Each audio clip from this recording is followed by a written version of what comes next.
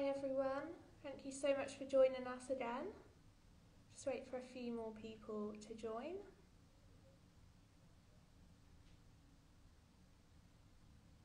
So this week we're going to be talking to Emma Brunning. Um, so Emma is a celebrity agent and publicist, um, and she runs On the Box Talent, and she's just joined. So let me add her now.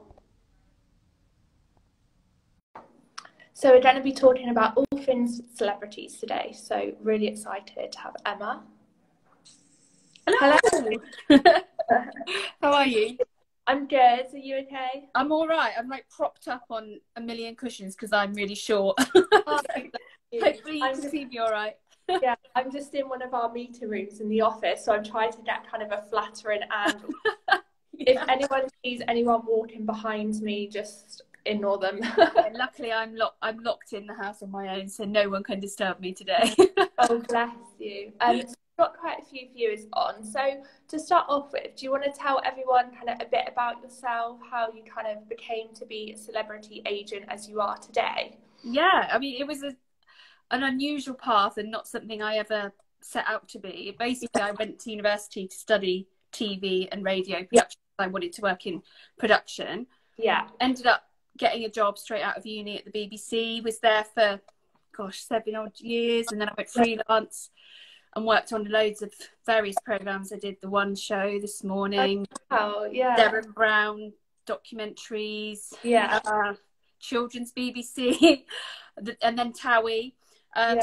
And then I left TV um, because why did I leave? I don't know. I was in my thirties, and Yeah. the, the, the long hours, the sort of fourteen-hour days, were getting to me. Oh, I thought Yeah. I need to do something where my skills are quite transferable, but yeah. that still gives me a buzz. And I ended up going into PR actually Oh, okay. Yeah. initially, and I worked in travel PR for Yeah. Tourism Australia. So I used to travel to Australia, which was Right. amazing. I was promoting Australia as a destination for the British market.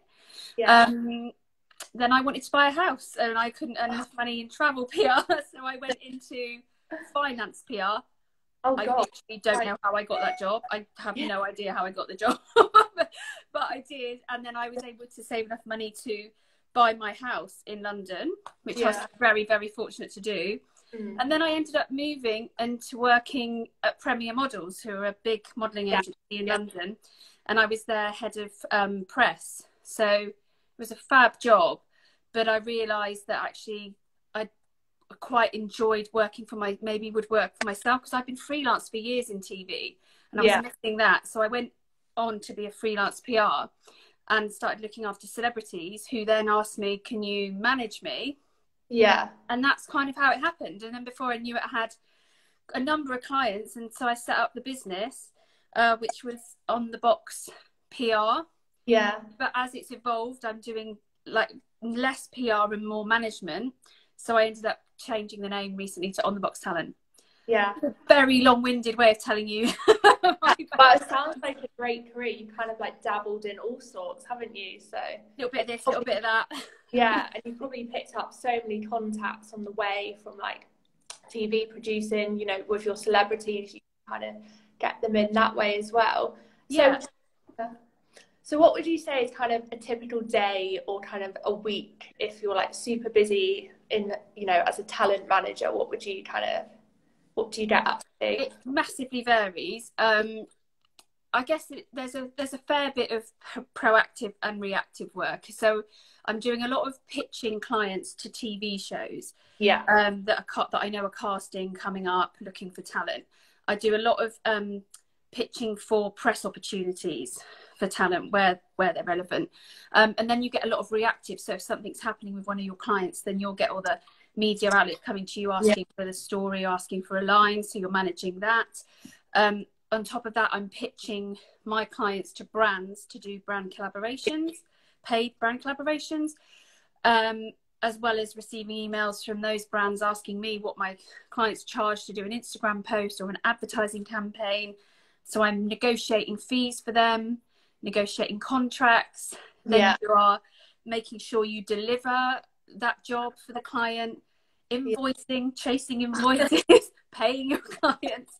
Um, That's a very busy week. yeah, it, and it's really varied every day. And then on top yeah. of that, you have a lot of charity work. So a lot of my clients will be aligned with uh, one or two charities that they particularly yeah. Resonate with. So we're managing charity requests, gifting requests, events. I mean, it's endless. And then on top of that, you also have a lot to deal with your clients who, you know, come to you for support, or yeah. advice. Um, you know where what they should do next. It's a real variety, actually. Yeah, and it's and just doing. yeah, that's what kind of keeps the role so fresh as well. You have kind of new brands to work with. It's not kind of the same every week, which is always exciting. Oh yeah. Yeah, no, it's brilliant. I love it. I absolutely love it. And the best decision I ever made was to go freelance and set up the business because um, I don't know how I'd work for someone else now. Actually, it's been, it was really difficult. You, your team, or do you have um, kind of people feeding into you? I actually do it by myself at the moment, and wow. on, I've been doing it on my own for maybe well, the business is almost five years old, I think. Yeah. And so I've been doing it completely on my own, and over that time, I have had um, an assistant at yeah. one point, and I was on the verge of getting someone else to come in and then coronavirus hit and so yeah. financially the business changed because things really you know halted yeah. so i put that on hold but obviously i'm now having a baby I got pregnant in lockdown brilliant timing um, so well actually i really wanted to be pregnant so it's fine um, and i'm going to have somebody who's going to come in and take over when i go on maternity so i yeah. have uh, somebody who's a very experienced um, celebrity manager who's going to just take on my clients for a short period once I've had the baby. Um, yeah. But other than that, it's normally just me. oh, busy, busy. yeah, it's good. So, how would you say? So, you said you know that on the box talent was kind of built four years ago. How do you find celebrities have kind of shifted over those four years? Do you think it's more kind of influencer based now, or are you still finding well, demand? Well, there's definitely there's definitely a place and a market for both, and I think there's yeah. definitely a rise in the influencers um, in the influencer space. Yeah, uh, was them them sort of moving into the celebrity space because yeah. Channels like YouTube and Instagram have had you know created a new brand of celebrity really. So yeah. you really have to look at programs like Strictly. Um, they took on Joe Sugg, who's the YouTuber. They had um, what was her name, Saffron Barker, yeah. the social media influencer. You know, that's the first time I think um, any of these big programs have looked at a different space to take on their talent for the show, which is yeah, it's very telling of how popular you know these influencers are. Um, and I think in terms of social media advertising, brands are tending to go to influencers who have kudos in their space to promote yeah. their brand because they're going to believe somebody who's an interior design expert more if they're going to promote something interior wise than yeah. maybe generic celebrity who does a bit of everything. Yeah. So I think, you know, there's definitely brands are turning to influencers in their field now for that yeah. kind of thing. But there's still the space for celebrities. I still get a lot of work for my clients who are on the more the celeb side than the influencer side. So I think there's space for both really, but it's definitely changed. Yeah, and I think also from so to anyone who's wondering how Emma and I kind of first interacted.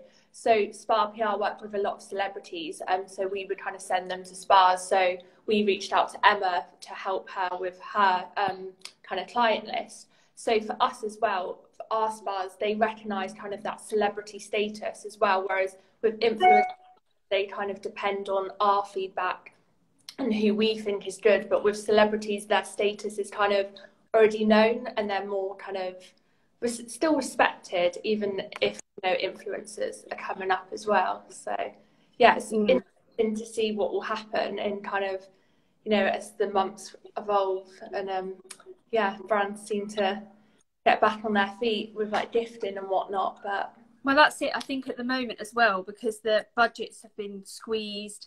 Um, yeah. You, you, can't necessarily afford to pay the big bucks for a high end yeah. celebrity but but you're starting to look at micro influencers who can have a really big impact for your brand also so yeah, yeah it's an interesting time coming out of this period of coronavirus isn't it yeah um, so then moving on to kind of celebrities themselves um, obviously there's been a lot of like negative press about celebrities in the past with like you know caroline flack and what kind of would you say to client managers like yourself or anyone in similar positions? How can they kind of support celebrities from like a friendly approach or like representing them in the media like positively? Well, I think it's uh, anyone that's done or doing my job knows yeah. It's a huge part of our job is to support our clients. And yeah. um, you are you're more than an agent because you you have such an, an intense and close relationship with your clients that you become a sounding board and a shoulder to cry on and there for advice. So you know yeah. it's, um, it's a fine line between a friendship and a and a working relationship. So I think um, this is not new news, the stuff, stuff that's been going on with trolling, yeah. uh, celeb bashing. So we most are fairly used to it in some respect. Yeah. Very few escape it. Um, you know, and, and I think you wouldn't get this behaviour in an office. It wouldn't be acceptable yeah. in an office environment to speak to people like that. But I think celebrities, influencers are almost expected to just take it on the chin. It's part of your job, and unfortunately, yeah. that is fairly true. Um, but it's uh, it's a really it's a really difficult one, and I think a lot of the talent that I work with are quite resilient or have had to become quite resilient. Yeah. To manage that, and you know, uh, short of telling people take a break from social media, you you know that's really difficult when you're earning your living that way. Yeah, exactly. So you know, I think it's about them having good support around them, not being able to take it to heart and also if they're starting out in the industry to have somebody who says can say to them there will be times when people will you know well most of the time people have an anyone has an opinion and they certainly like shoving it down your throats yeah. um but actually we're quite lucky as a business because we represent um a psychologist a media psychologist yeah. arthur cassidy and he offered after the caroline flack situation he offered free therapy if needed on a one-to-one basis to any of my clients so yeah. that was offered up um, whether or not they take it i, I didn't know yeah. because they don't come through me they would go directly to him it's none of my business unless they wanted to tell me but that is something we try and offer some support but yeah. it's um, yeah it's a really it's been a really strange time hasn't it with everything mm-hmm. that's been going on yeah definitely and I think just having kind of that support system in place, you know, they might not need it, the support right now, but say a negative article comes out and then that will kind of spiral. Floors you. Yeah. I mean, these these things absolutely floor you and it comes out of nowhere yeah. as well. And there are situations where you might have done something 10 years ago, made a comment, posted a tweet. That can come back and bite you on the ass 10 years later, yeah. lose you a job, you know, can lose you a job over that. And it's really devastating for somebody. If you think of your 17 year old self and the shit you'd come out with as yeah. a teenager, fast forward 10 years and you've got a blossoming career in you know the social media or on reality TV, but you're accountable for something you did 10 years ago. I couldn't even remember what I said last week yeah. Uh, 10 years ago. And yet they're really dragged over the coals and it's it's really difficult. I think it's a really it's a funny time, but because you're in the public eye, you're expected to toe the line, behave a certain way, never put a foot wrong, and that's unrealistic. Yeah, you know, so many resources out there as well at the moment. You know, even with you know the Black Lives Matter, you know, people were educating themselves, you know, daily and finding out so much more. And kind of there's this expectation that celebrities know everything, and they and they don't and, and I think that was really uh, that was a quite a highlighting um, movement because I think a lot of people came out saying I, I hold my hands up. I actually don't know enough about this so I'm going to read this article. I'm going to watch this documentary. I'm going to engage with my friends who can tell me more about this subject. Yeah. it was you know it was huge wasn't it? Yeah. It is still is. It's going yeah. you know, it doesn't stop it hasn't stopped now just because no, there's exactly. things going on. It's yeah. continuing which is really positive. positive. And I've noticed that quite a lot of jobs as well are, are, are, coming in and you know resonating with that movement works coming through for it as well and highlighting and campaigns. So you know it's interesting. Yeah and for kind of celebrities to have their not just like their face but to work with such important brands and then they can kind of share their audience as well that will obviously give them great positive pr but absolutely. you know a worthy cause to be involved with anyway just as you know just as a human in society so. Yeah absolutely and i think that's the thing when occasionally sometimes some a celebrity might mess up or do something wrong i would always say try and let look at the root of what this has come from and maybe yeah. do something in return that could help yeah. with that to, yeah. to of show you're willing or that you're learning from your mistakes so i think you know there's always something you can do to try and put a positive spin on things you know absolutely um, so then moving on to kind of your career, so what would you say is the most memorable kind of moment or like a career highlight that you would say? Well, so um, yeah. in my TV career, I was really, really lucky because I worked in travel programs because I yeah. used to be a travel agent when I was 17 before I went to yeah. university. I went to university quite late I was 22 when I studied. When I was 17, I was a travel agent. Yeah. So when I worked in TV, I ended up working on the holiday program for the BBC.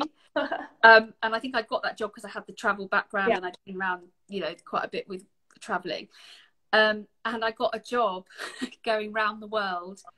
Um, and it was called a gap gap month it was for the bbc show yeah the holiday and we basically did what you would do in a gap year in a month it was a crazy ridiculous oh, wow. experiment and yeah. we did 12 countries in 31 days. Oh, I've wow. never been more exhausted in my life. Yeah. it was such an amazing experience. Amazing yeah. and equally horrific at the same time, but such an experience. That was a, that was amazing on the travel side, and in the PR mm. side, um, I work. I used to work for Money Supermarket. Oh, okay. I, used, I used to do their um, TV stuff, yeah. TV PR, and I worked on the Epic Strut campaign. So I don't know if you remember the guy in the the shorts and the heels. Oh, uh, no. Dave and he um yeah there was don't don't you wish your girlfriend was hot like me was the advert and yeah. he was in high heels and shorts and oh, it was a, a really divisive advert and yeah. I did the TV PR on that and we managed to get him on this morning oh, in the opening credits strutting down the south bank in his tiny shorts oh, so oh, remembers him yeah. um, oh, strutting in his yeah. shorts and his heels and then Phil, who was um, actually on it with Amanda Holden that day, they did a sofa interview with him, which I think is the first time they've done that with a TV advert character, yeah, be, but being interviewed on the sofa. So um, I was really proud of that. that was my yeah my TV that. stuff. So yeah, that was yeah. really great, really fun. Yeah. And then in this celebrity world, I think it's just it's countless. It's there's so many lovely moments, but I think it's mm-hmm. quite hard to find a standout in that. yeah, but, yeah. I remember the PR campaigns better. that that one had a big impact. You know, it was such a huge deal at the time. Yeah, so, what's kind of next for you then? Obviously, you mentioned you're pregnant, which is super exciting. Thank you. and you're handing over the baby. What's kind of not handing over the baby, handing over your business? Yeah, I, might, I, mean, I wish I could hand the baby over, but I don't think anyone can have her. have a business. Um, so, what's kind of next? What do you have coming up? Um, so we've got I've got a few clients who are taking part in um, a new MTV series which is coming up. Oh, so this brand yeah. new series which they've just been shooting in the last three yeah three or four weeks. That's probably in the edit now and will go out. Um, then obviously I'm having a baby at Christmas, so I'll be off for maybe four to eight weeks and then back in back in business. As a business, I'd quite like to look into doing media training as something down the line, yeah. just because I have the I did 12 years in TV. As yeah. I, well, worked my way up to producer level. So I'd quite like to use those skills to maybe help clients or brands um, with PR, uh, with media training. Yeah.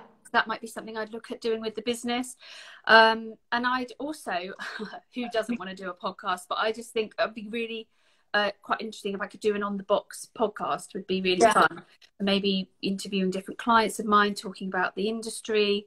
Yeah, definitely. I don't know how much I could say without never working yeah.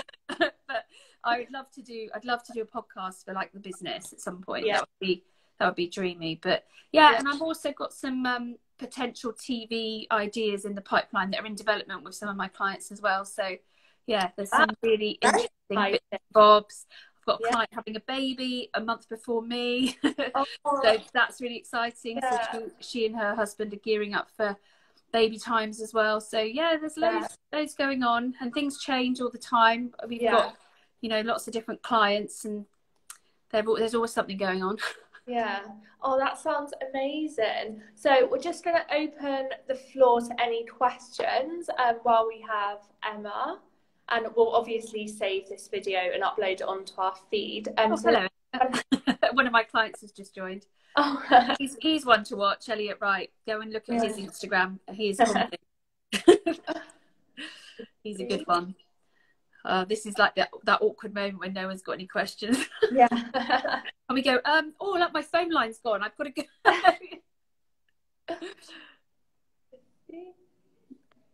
Maybe you've covered everything then, Emma. Nothing more of interest to say. Oh, hi, Zoe. oh, there's Elliot. Oh. Well, if anyone does have any questions, um, then they can just uh, your inboxes. I'm guessing will be open. Oh yeah, absolutely. Yeah, absolutely. Yeah. And they can just comment on the video. But yeah, anytime, anytime. Yeah, yeah. that'd be great. Lovely. Yeah, oh, oh thanks, Sophie. Great chat. well, you've fine. done such a great job, Emma. No one's got any. let's go with that. Yeah, let's yeah. But thank you so much for joining us. You're so really welcome. Actually, to talk to you because we haven't had any guests kind of in the celebrity kind of realm. So yeah, it's been great to hear about oh, you. And for this podcast. Well, let's see if I can get one off the ground. No, definitely can. And thanks everyone for watching. Um, so like I say, this video is going to be saved on the Spa PR feed, um, and then I can send it to you as well if you wanted to upload it onto your channels. Yeah. But yeah, Thanks so much, everyone. Thank you. Take care. You too. Bye. Bye.